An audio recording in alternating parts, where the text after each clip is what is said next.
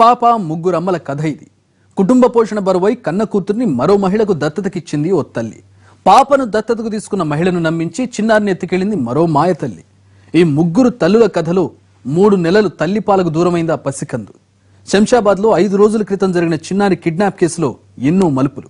తమ వివాహేతర సంబంధాన్ని కప్పిపుచ్చుకునేందుకు ఓ మాయలేడి నడిపించిన కిడ్నాప్ కథలో ఇద్దరిని అరెస్టు చేశారు శంషాబాద్ పోలీసులు.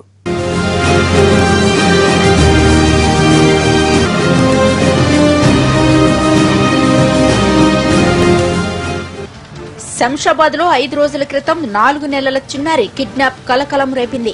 ఈ కేసును ప్రతిష్టాత్మకంగా తీసుకున్న పోలీసులు లోతుగా దర్యాప్తు చేసి నిందితులను పట్టుకున్నారు. ఈ కేసు విచారణలో ఎన్నో ఆసక్తికరమైన విషయాలు బయటపడ్డాయి.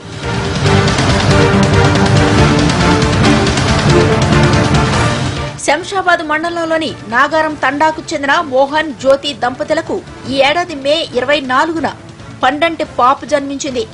ఆర్థిక ఇబ్బందులు తాళలేక బిడ్డను పోషించే శక్తి లేక నెలన్నర వయసున్న తమ చిన్నారిని శంషాబాద్కు చెందిన ఎలిజబెత్కు జులైలో దత్తత ఇచ్చారు. ఎలిజబెత్ ఉంటున్న ఇంటి సమీపంలోనే హంసమ్మ నివసిస్తోంది. ఈమెకు ఇద్దరు ఆడపిల్లలు. ఈమె ప్రవర్తన సరిగ్గా లేకపోవడంతో భర్త ఇద్దరు పిల్లలను తన దగ్గరే ఉంచుకుని భార్యను వదిలేశాడు. కొన్ని రోజుల తర్వాత ఆమెకు చంద్రకాంత్తో ఏర్పడ్డ పరిచయం వివాహేతర సంబంధానికి దారితీసింది. ఇద్దరూ సహజీవనం చేయాలనుకున్నారు. తమకు ఓ బిడ్డ ఉంటే ఓ కుటుంబంలా నమ్మిస్తే ఎవరికీ అనుమానం రాదనుకున్నారు. ఇందుకోసం ఓ పాప కావాలనుకున్నారు. ఎలిజబెత్ దగ్గరున్న పాపపై వీరు కన్ను పడింది. ఆ చిన్నారిని ఎలాగైనా కిడ్నాప్ చేయాలని స్కెచ్ చేశారు.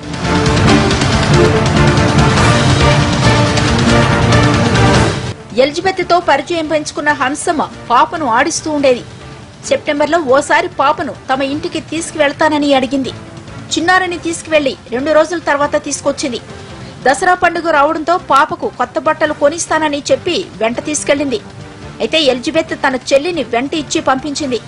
మధ్యలో ఆమె దృష్టి మరల్చి పాపను ఎత్తుకెళ్ళిపోయింది నేరుగా బుద్వేలు రైల్వే స్టేషన్కు వెళ్ళింది.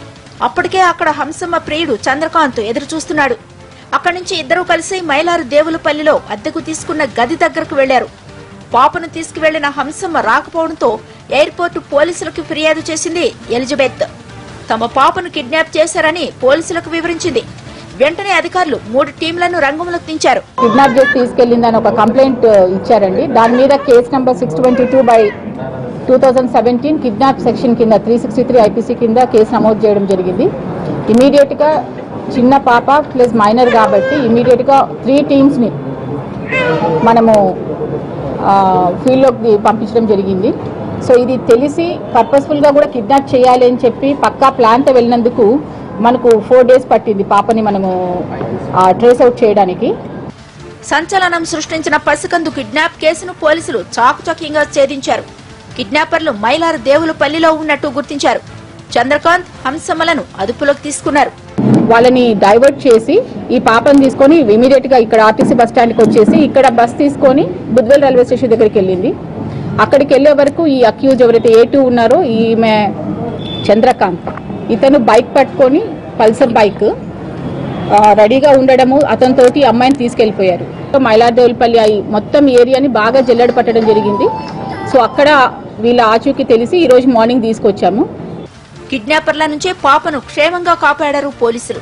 చిన్నారిని సొంత తల్లిదండ్రులకు అప్పగించారు. చేస్తాం సార్. మేము పెంచుకోలేం సార్. పెంచుకుని ఉంటుంటే అప్పుడే పెంచుకుంటుంటాం సార్ మేము. ఇవ్వకపోతుంటే ఎవరున్నా సరే సార్ మేము పెంచుకోలేని పరిస్థితి సార్. మగ పిల్లడైనా ఆడపిల్లడైనా మేము వాళ్ళకు కూడా అన్నం పెట్టాలి కదా సార్. అది కూడా లేదు సార్ మా తాన. అందుకనే ఇచ్చిన సార్ ఫస్ట్ పైసలు ఏం తీసుకోలేదు సార్. అట్లనే ఏడ్చి ఏడ్చి నేను పెంచుకుంటానంటే అట్లనే ఇచ్చేసిన సార్. మా పిల్లలు లేరు అని తీసుకున్నాం సార్. పిల్లలు పోషించే లేకనే మా- వేరే ఉద్దేశం వేరే ఉద్దేశం ఏంటి సార్? మా పోషించలేక పరిస్థితి లేక మేము ఇచ్చేసినాం సార్ వాళ్ళకి ఎందరు? మా ఇద్దరు పాపలు సార్. అవును సార్ కూలి ఇప్పుడు సార్ వాళ్ళు అయితే పెంచుకుంటానని అంటారు సార్. ఇక పోలీసుల విచారణలో హంసమ్మ చేసిన మరో నేరం బయటపడింది. ఆమెను భర్త వదిలేసిన తర్వాత రెండో పెళ్ళి చేసుకున్నాడు. ఆమె కొద్ది రోజులకే చనిపోయిన విషయం హంసమ్మకు తెలిసింది. దీంతో మారిపోయినట్టు నటించి మళ్ళీ భర్తకు దగ్గరైంది. అతను ఇంట్లో లేని సమయంలో బీరువాలోంచి బంగారు ఆభరణాలు నగదు ఎత్తికెళ్ళింది. వీరిని అదుపులోకి తీసుకున్న సమయంలోనే వారి నుంచి తొమ్మిది తులాల బంగారు ఆభరణాలు ఇరవై వేల నగదు స్వాధీనం చేసుకున్నారు. మొత్తానికి చిన్నారి కిడ్నాప్ కథ అనేక మలుపులు తిరిగి చివరకు సుఖాంతమైంది.